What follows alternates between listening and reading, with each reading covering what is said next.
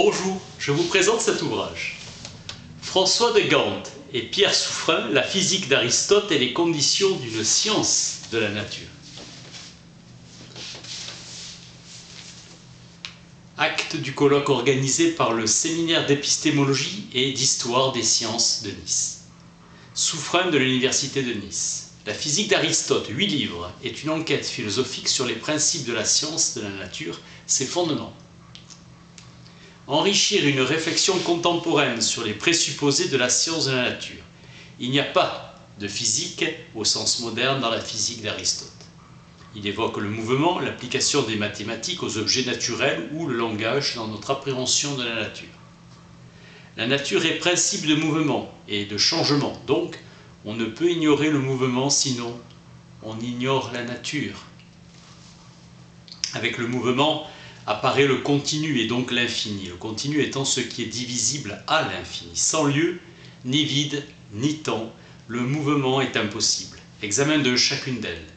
La considération des choses particulières vient après celle des choses communes. Enfin, Aristote se concentre à la démonstration de l'existence du premier moteur. La traduction du texte s'est faite sur la base de manuscrits de la Grèce byzantine datant du 9e siècle, 86 manuscrits. Il y a des copies manuscrites dont les textes ne sont pas strictement identiques, erreur involontaire ou avec l'intention de corriger masse énorme de variantes. Certaines erreurs altèrent gravement le sens du texte. Idéalement, il faudrait retracer la généalogie complète des manuscrits conservés ou perdus, travail non encore réalisé. Le choix se fait en vertu de l'ancienneté des manuscrits, même si un dicton des philologues dit que les manuscrits les plus récents ne sont pas nécessairement les pires, Exemple, le traducteur français Carteron a suivi le travail réalisé par Emmanuel Becker 100 ans auparavant, 1830, d'Académie de Berlin. À partir de six manuscrits de base, Carteron a collationné les manuscrits en se fiant au relevé de ses devanciers, correction d'érudits à des fautes de lecture ou de transcription où il recopie les indications de Becker. Le manuscrit autographe d'Aristote étant l'archétype perdu. Les copistes ont voulu copier strictement le modèle, recopié par trois copistes indépendants. Puis les manuscrits ne seront pas conservés au cours de leur existence et subissent les injures du temps, morsures des vers et attaques de l'humidité. Des lecteurs érudits ont fait des corrections. Des copies se situent entre le 4e, le 6e et le 9e siècle de notre ère. Reconstituer l'archétype à partir de ses descendants conservés est une tâche excessivement difficile. Avec la tradition indirecte, on peut remonter vers l'auteur de la physique. Grâce aux traductions anciennes en d'autres langues que le grec et les commentaires anciens qui ont été composés sur ce traité, du 1er siècle avant Jésus-Christ jusqu'au 6e siècle après. Comme le chrétien Philopon et les néo-platoniciens Simplicius, une paraphrase aussi de Thémistius, érudition de Simplicius qui se réfère à Alexandre d'Aphrodise, 2e siècle. L'éditeur moderne a ainsi une grande marge de liberté et donc de responsabilité dans l'établissement de son texte. Il est condamné à être libre.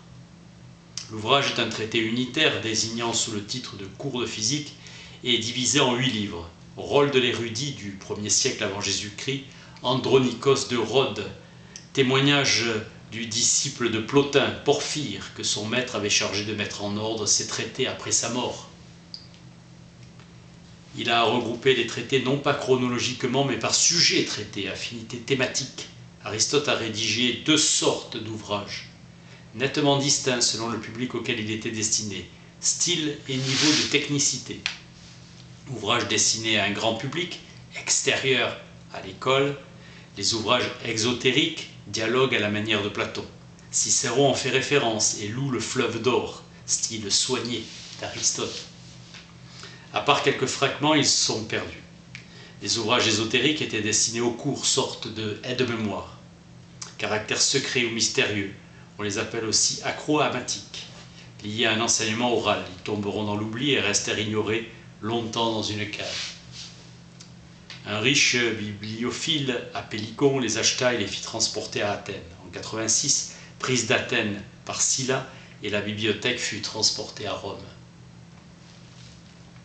Andronikos se procura des copies qu'il publia, les successeurs d'Aristote ne disposant plus des textes fondamentaux du maître. Certains des livres de notre physique ont une certaine autonomie stylistique ou doctrinale, supposant qu'ils ont existé d'une manière isolée. Livre 1. Intervention d'Andronikos dans la constitution de nos textes.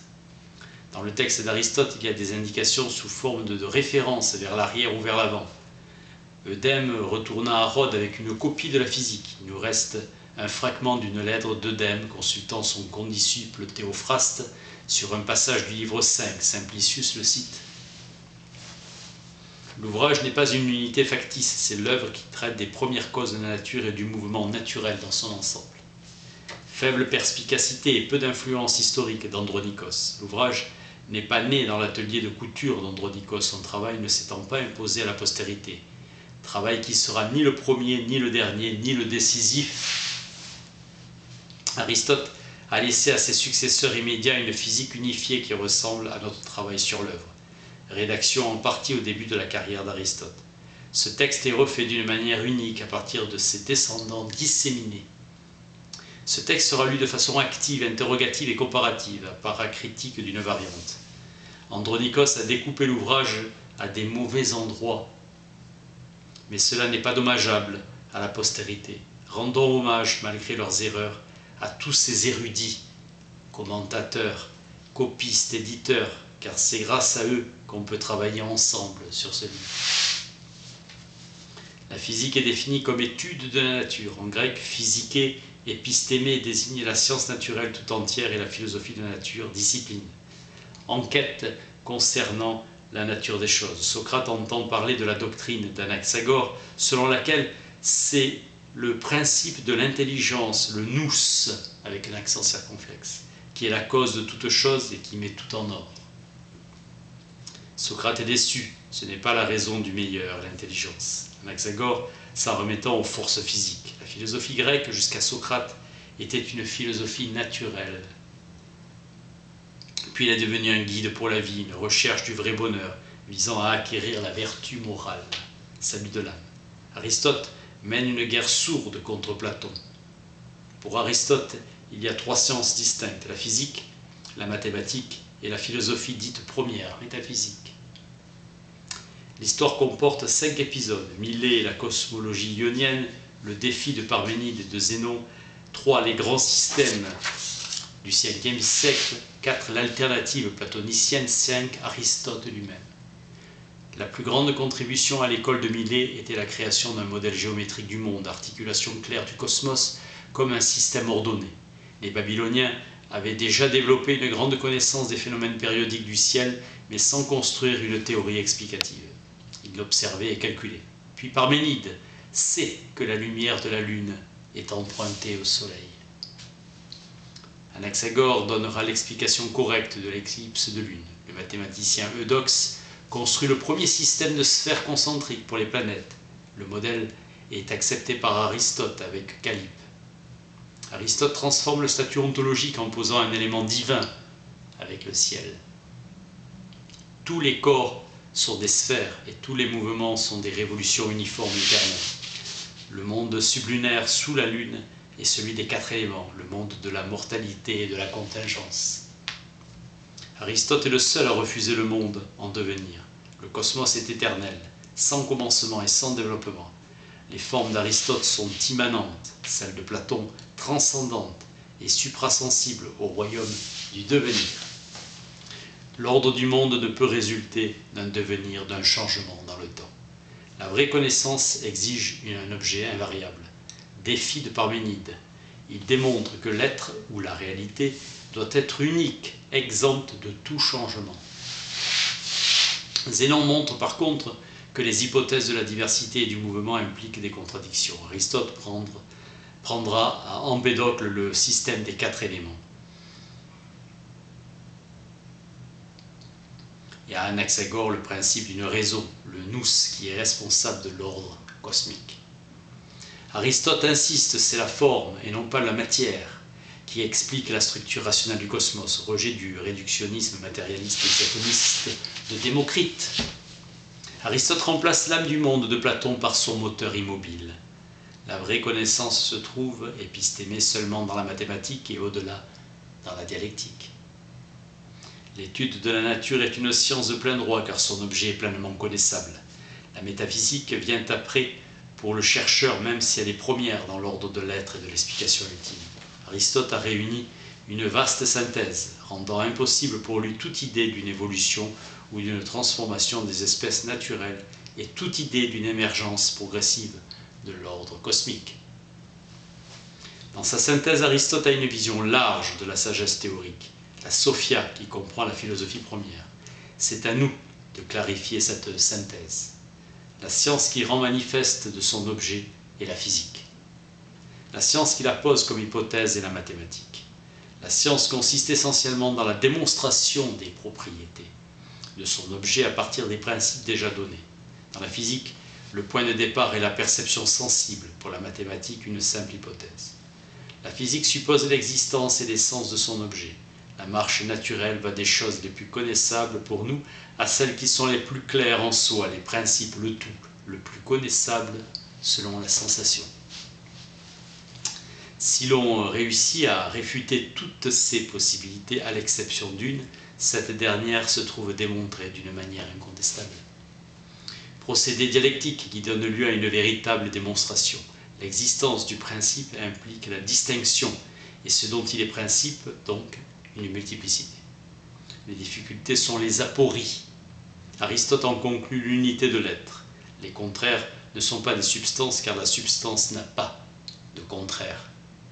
Les éléates ont nié la multiplicité, réduisant toutes les choses à une seule. Ils ont choisi le principe contre l'expérience. Aristote ne supprime pas l'axiome que toute chose est ou n'est pas. Découverte du substrat est l'une des gloires d'Aristote. Platon, sous l'influence de Parménide, a confondu la matière et la privation.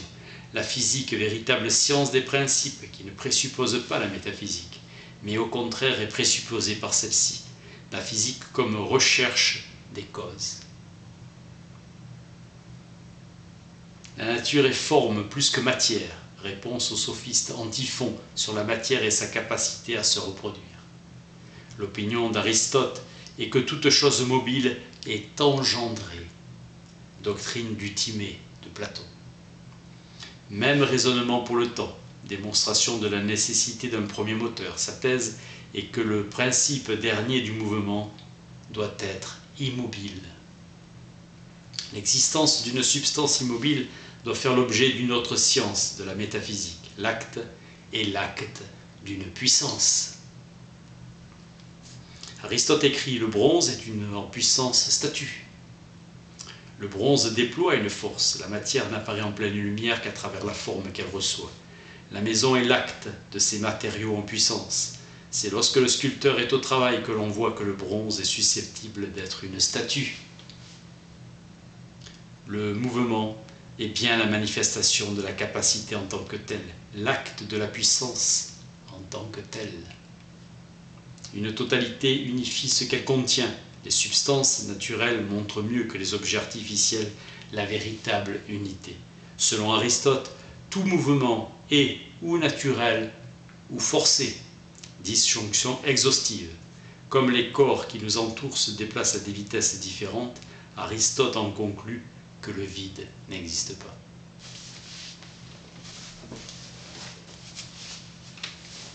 François de Gand et Pierre Souffrin, La physique d'Aristote et les conditions d'une science de la nature. Merci.